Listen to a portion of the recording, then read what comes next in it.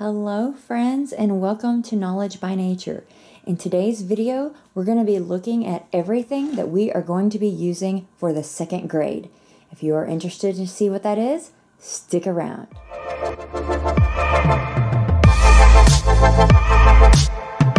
So as I said, we're going to be looking at everything that I have picked out for our second grade year. There's a huge glare over there, but I plan on bringing everything to the middle so that we can go through it.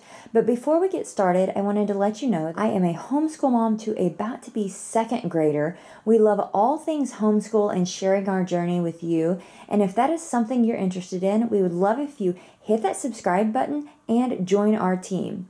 If you are returning, welcome back. It's always awesome to have you.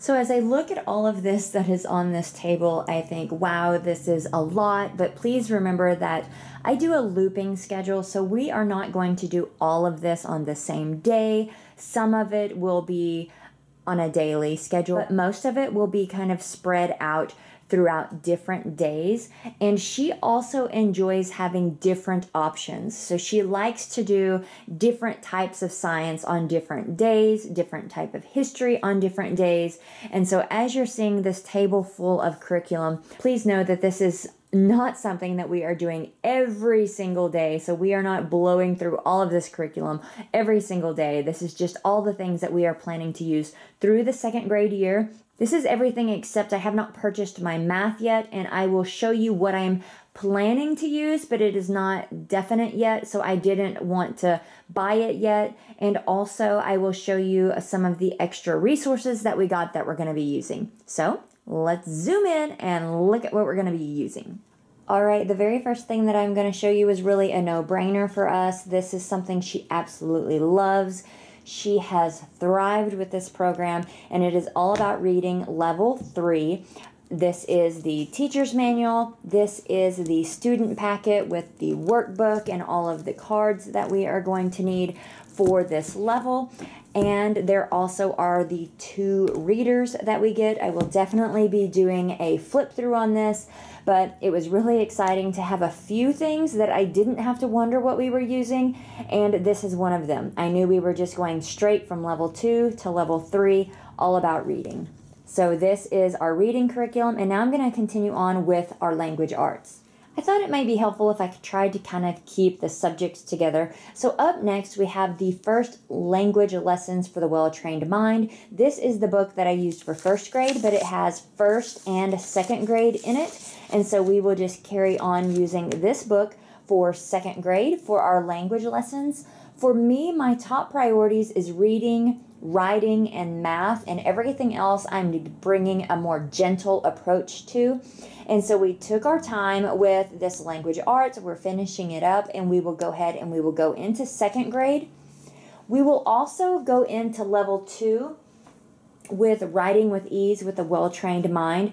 We started workbook one pretty late, so I don't know that we will actually completely finish first grade by the time we finish first grade, but we do have level two ready to go. And so, again, I just wanted to continue with this. It's something we enjoyed. I feel like it's gentle enough, it's not something that's overwhelming that we can add for our language arts. And so, I have level two that we're continuing on with writing with ease. I also wanted to mention this little primary composition workbook. I actually have one for first grade, but I also bought another one for second grade that she can start. And this is just a really nice lined paper with a little section at the top where you can like draw or journal. And so this is really handy to have with both the first language lessons and just some of our other curriculums that it's really nice to just have this primary composition notebook. And I just really liked this. And so I made sure that I picked up another one for second grade. I wanted to get just a little bit deeper into grammar this year just to kind of give her a little bit more practice because usually I would use maybe Explode the Code or something like that, which looks similar to this. So I picked this one up. It's a grade one. I figured well, let's start easy and then that way we build our confidence really good and then we'll go through this a lot quicker also. So I will probably be purchasing the second grade one before too long into the second grade year because as you can see, it just doesn't have a whole lot on it each day. So I think it will be something that will will be gone through quickly, but it's just a nice way to practice. And again, I didn't want to start with grade two because I wanted it to make sure that we were building some confidence with our grammar here. And I think this will go really nicely with my first language lessons because it's talking about parts of speech, common and proper nouns, contractions, tenses, subject verb agreement, capitalization, and punctuation. So again, I think this is going to be very simple but I thought it was a good jumping off point to kind of add a little extra with our writing for second grade. Another book that we will continue with for second grade is our 100 Write and Learn Sight Word Practices. We have been working on this for first grade, and so we will continue on with this. I really didn't start this for a long time because it always bugged me that I was going to be wasting the page if I cut this section out. So we just decided not to cut this section out and she just writes it and then that way we can continue to use this book. And it's very nice. It is very good independent work, which is what I also had in mind with this grammar is it's very good independent work if I am in the middle of something but I need her to be doing something. These two are both things that she can go grab, do herself. This year, we are making a possible change with spelling. For first grade, we used All About Spelling. I think it's a really, really good program. I like it. You know that I love All About Reading, but I'm not quite sure how good it is working for her. So I am not 100% sure that this is going to be any better, but I did want to have an option for spelling. Again, this would be something that she could do independently once we got rolling with it a little bit and she understood what each week is going to be about. Again, I will do some flip throughs of these, but you have like this read and spell, copy and spell, cover and spell, then we have visual memory, word meaning, word study, and then you start the next week. So this would be really good for independent work for sure. And I just wanted to see if her spelling improved any using this. She's a decent speller, but there are a lot of things that I think we maybe need something more like this to try. So if this does not work, I'm definitely going to be picking up all about spelling too, but I did want to try this one first for a little bit just to see how we felt about it. All right, continuing on with independent work. We use Roller Coaster Writer for our cursive, and we are going to continue to do that. But I saw this I saw this curriculum from The Good and the Beautiful, and they were actually having a sale, which is why I picked it up. But I noticed that they are doing the cursive and you follow the colors of the rainbow. So red, orange, yellow, green.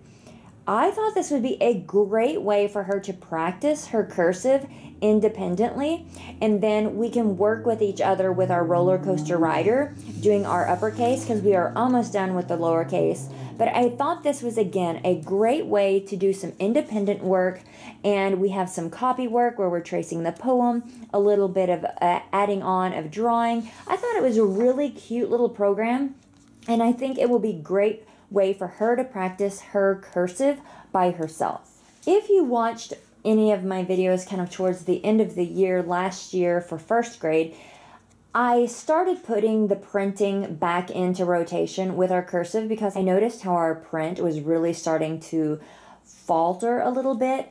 And so this is actually, I believe this is first grade maybe, but I wanted to go back and practice a little bit of how exactly we should be forming our letters. We've been working a lot on this already, and this may be something I actually do during the summer. I'm not sure. But this is definitely a good book to do to be able to get those nice positions on the way that we start our letters and different things like that. So I wanted to do this again. We had done the orange handwriting without tears, and I kind of gave that to her as independent work, to be honest. And so I don't think she was ever learning some of the really proper ways of writing the letters. And so, like I said, we've done a lot of that here at the end of first grade, but I wanted to work on this again because as you can see, it shows you here First, you do the magic C, then you bump up, you back down, and then you turn. And we have already improved so much since I've worked with her a little bit more. I thought this would be a great book to go ahead and work on our printing a little bit more. All right, so there is what we are planning to use for language arts. Now let's check out science. All right, for science, another one that was really pretty easy for me to know exactly what to go to was Sassafras Science Volume 2. I actually have a flip through of this, so if you are interested in that, I will put that down in the description below. But we will have our spine here of following the Sassafras twins on their adventure, the logbook, and the teacher's manual. As I mentioned before, she likes to have different kinds of sciences going and different histories going at the same time. So I like to have another option for that. This year, I'm trying another Evan-Moor. I just see this is such a popular thing in the homeschool world. And so this year, I've grabbed a few options for that. This is Skill Sharpeners Grade 2 Science. And this just looks like something she's really going to enjoy. It came from Amazon ripped, so that was kind of a bummer. But we see that we are covering physical science, life science, space and earth science, earth systems, and science and engineering. I do not believe that you have to go in any sort of order for this. So if you wanted to start with the purple section, you could do that, or you could move over to the body parts section, the life science, or you could do the space. You can really start and go however you want to, but it's very colorful, very simple, just fun way to do some science and then there is some wordplay, some vocabulary here. And then there is a little hands on activity. She loves hands on activities, and these just look like really fun, simple things for me to do. And I really like that as well. So we're going to give this a try. Like I said, this is the first time with this, but I think it's going to be pretty neat and a great way to kind of work multiple science programs at the same time. I purchased this Exploring Nature with Children for first grade. I sent it off to be printed, and I actually didn't get it until much later in the year, and we just couldn't ever get our footing on it. I don't know that we're going to use this, but it is something that I have. It's something I really would like to use, but I don't know if I'm going to. But this will be another option of if I want to use it throughout the year. But my plan is to mainly use this we will go through volume two of Sassafras and volume three, hopefully, of Sassafras. So that wraps up our science curriculum. All right, now let's move on to history. Story of the World, again, that was something I had bought for first grade. I thought I would get to this sooner than I did. I didn't. Thanks to my looping system, second grade will hopefully go more in the order of what I'm expecting. So we are in this for first grade and we will continue on with this for second grade. We are enjoying the story sections of the chapter book. I don't know for sure if we go to volume two, if we will get the activity book. I'm still working on that one. Like I said, we haven't been into this too much. So this will definitely be something that we are continuing on for second grade to finish that up. Then I picked up this workbook, and it is 180 days of social studies for second grade. And this covers civics, economics, geography, and history. Also, geography is going to be covered very well in sassafras science. I know you're thinking, why is geography in science? But it's very, very present in this series. And so, honestly, there's a good chance we're going to be getting more geography out of our sassafras science than we're going to be getting out of this. But I do like, again, having multiple options. And how it rotates is you do civics, economics, geography, and history. So you don't just do history, history, civics, civics. It kind of goes through and you rotate them, which I think is kind of nice. I have not ever used one of these 180 days before, but I thought it would be a good one to try. If we don't like it, then I will know for next year that that's not what I wanted. In addition to those, I have some Who Was that we will be doing. So we have Who Was Harriet Tubman.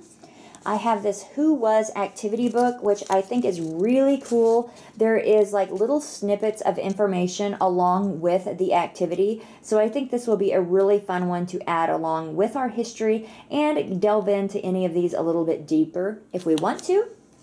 Who was Nikola Tesla? Who was King Tut? Who was George Washington? And then these would kind of be history, geography. This is a Flat Stanley's Worldwide Adventures. So he goes to Mount Rushmore, the Great Egyptian Grave Robbery, the Japanese Ninja Surprise, and the Intrepid Canadian Expedition. I thought this would be a really fun set to add in with our history slash geography learning for second grade. Up next, I have art. This is something that I want to kind of approach very gently. It will not be an everyday thing. I'm thinking this will be something that's done like on Fridays. And there's quite a few things here, but they're not going to be all done on the same day. So on Friday, we might do like this Evan-Moor book, and then another day we'll do one of these others. But the first thing that I got for art is Evan-Moor How to Teach Art to Children.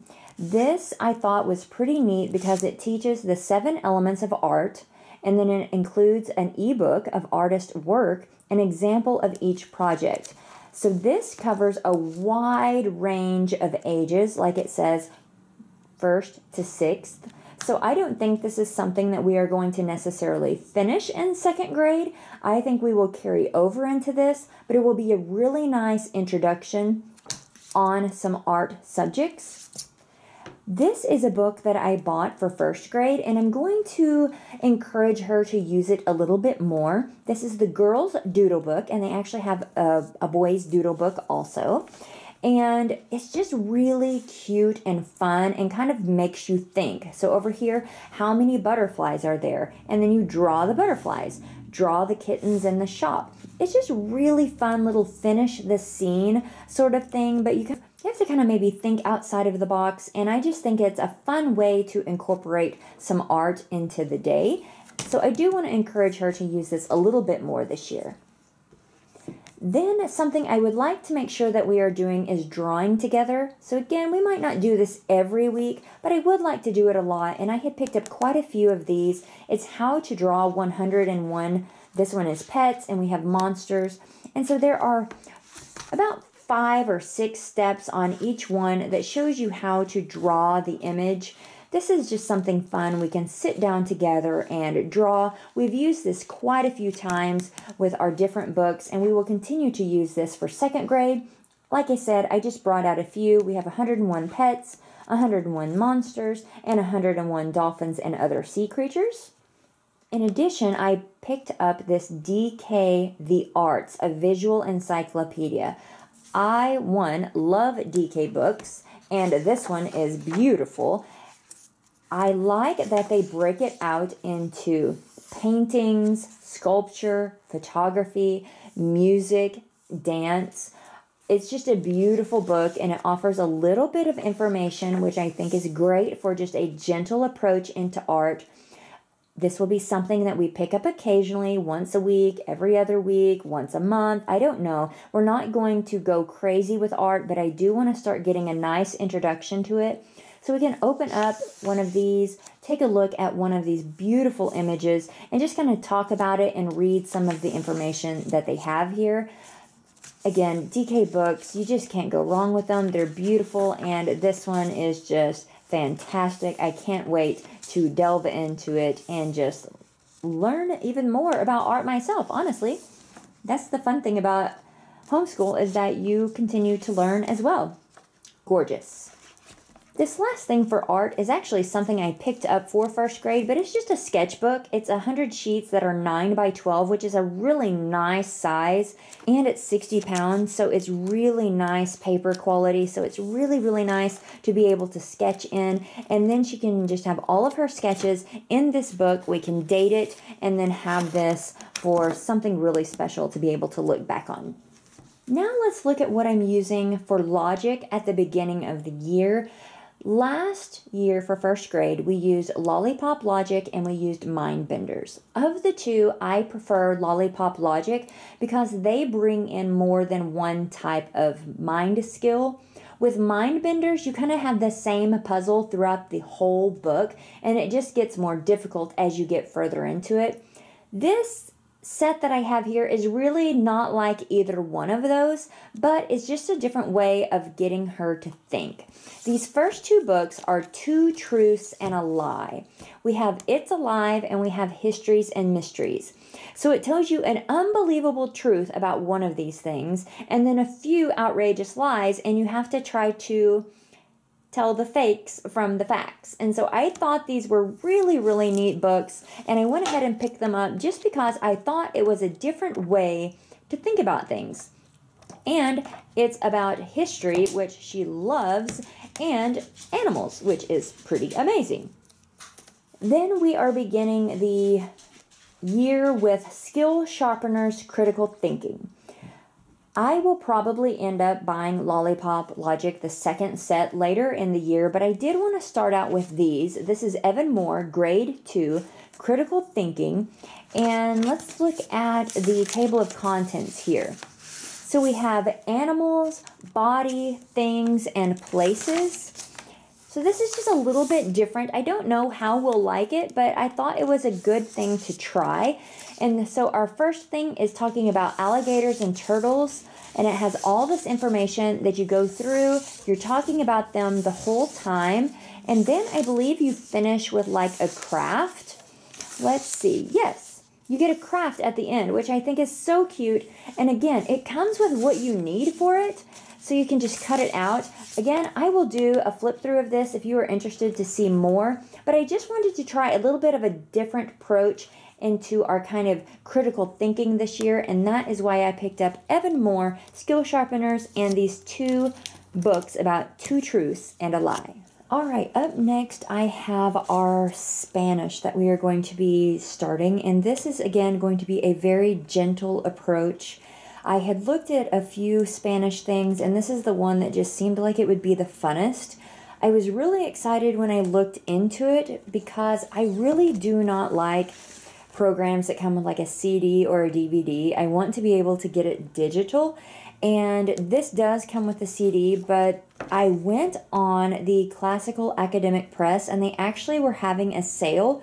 So I got both the DVD and the CD section as digital formats. So I'm really, really excited about that.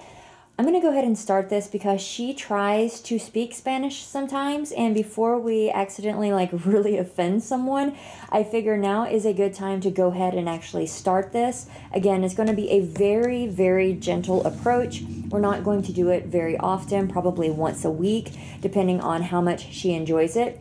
But I will do a flip through on this in case you're interested in it. And one more thing I forgot to mention earlier is that we will, of course, be continuing our online things as far as reading eggs, math seeds, uh, Monster to Read, and I recently just found this fun little game on our phone that is called Monster Math. Those are three other things that we will be using along with all this curriculum for our second grade year in addition to probably starting some coding. But all of those, the Spanish, the coding, things like that, are going to definitely be very, very gently approached and only used as we feel that they are necessary. Let's keep going. All right, let's look at a few extra resources that I have here. This is what your second grader needs to know. I think this is going to be a really, really good book for filling in the gaps or for just adding in a little bit extra history or science. There is language arts in here, there's art, more art in here. There is also different stories, poems, tales. I think is really fun to be able to read some of these that we might not have in some of our other books. There's math back here in the very back. So this is something that I'm not going to use all the time, but I think it's going to be great for filling in the gaps or for having that extra little thing of if she wants something just a little bit different from history, we can do this. A little bit something different for language arts, we can try this. I'm excited to kind of get into this. It won't be something that we use very often, but we can open it up maybe once a week, read a few stories out of it, pick something out of it that we might like, and just kind of pick and choose out of it as we want. This book right here was actually mentioned in The Well Trained Mind, and I really like it. It has all these selections and stories. We read The Odyssey this year, we loved it, and it made me think about kind of introducing ourselves to even more literature like that. One thing that's really neat about this one is that one is broken up into like the listening level. Right here it suggests listening levels for like ages 5 and up, ages 8 and up. You can kind of use this to your discretion. You know, your child may be more advanced and so they can listen better or maybe they don't have the greatest listening skills yet and so they would begin at maybe a lower level. But I do appreciate that they have that in there and then of course it tells us everything that is included has a little introduction and then something I thought was neat, let me find one here, is it actually tells you the approximate reading time, a little synopsis about the story, and then any punctuation or vocabulary that you might need to know about before you actually start the story. I thought that was pretty cool. I really liked this reading time because you're like, hey, let's get in a quick little story. Which one would be the best? So I picked this one up, and that was Classics to Read Aloud to Your Children. I would like to introduce just a little bit more poetry, and this is something we had picked up last year that we really have used very little of. It comes with a CD, which you know, I don't like using CDs. I would rather have it digital, but I can come in here and I can read this and we can talk about all of these things together, and then it kind of breaks it up into different information cute little book. I like the images in it, and I hope that we actually use this a little bit more this year. We also have a stage full of Shakespeare stories that I would like to finish up this year. We've read one of them this year, and I would like to finish this up completely for second grade, having read all 12.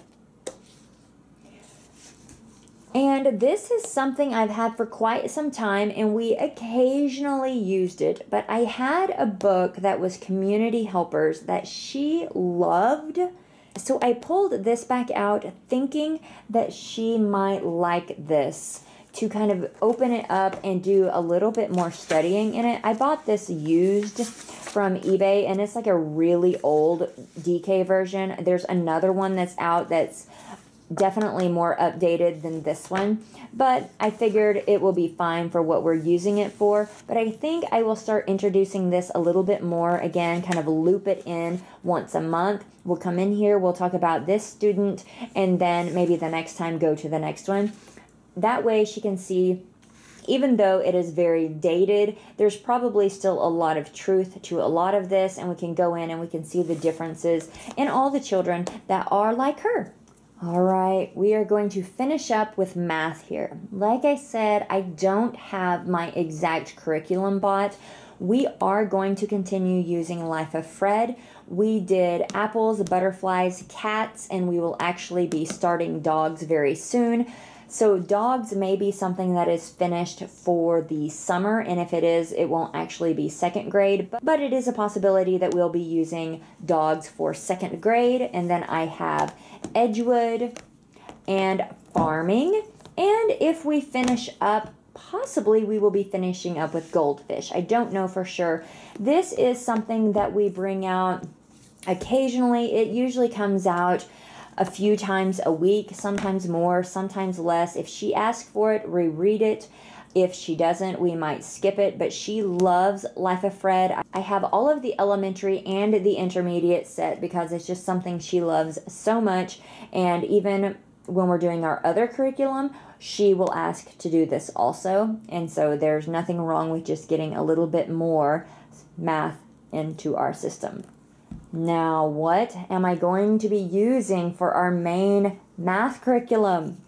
If you saw at the end of my first grade year where I decided to compare dimensions and primary, you will know I am trying to decide between these two. So that is why you are seeing 1B because I have not actually purchased 2A yet because I am waiting to decide exactly if I am going to continue on with dimensions or if I am going to continue on with primary. We have used dimensions for KA, KB, and 1A, and I purchased primary to use for 1B. We are really, really enjoying primary, and I foresee primary 2A being a part of our second grade. I really don't think we will continue on with dimensions. I think we're going to be moving over to primary. But again, I want to finish most of this before I make that purchase because you all know curriculum is not cheap and I want to use as much of this and feel like I am as confident as I can be in math before going forward. So, again, be on the lookout for my video of where I debut what we will be using because I will definitely do a flip through for you. But I do foresee us using primary, but either way, it will definitely be Singapore math. I just am not 100% sure whether it will be in the form of dimensions or if it will be in the form of primary mathematics. All right, well, if you stuck around to the end, thumbs up, please. Hit that subscribe button. I hope you've enjoyed this. I hope it's been very helpful for you and maybe we'll give you some good ideas about what you would want to use. A lot of these were really things that we were continuing on. It was kind of, we already knew we liked them, but we also have a lot of new books also. I'm really excited about some of these new curriculums that we've never used before, and I think it's going to be a great second grade year. If you enjoyed this video, again, give me that thumbs up, hit that subscribe button, and if there are any of these that you would like to see a more thorough flip through on, put down in the comments what you would like to see, as well as if there's any that I already have done, I will put those down in the description. So check out the description if you're interested in anything. If not, put it down in the comments and I will definitely do that for you. Have a wonderful day. I'll see you in my next one. Bye!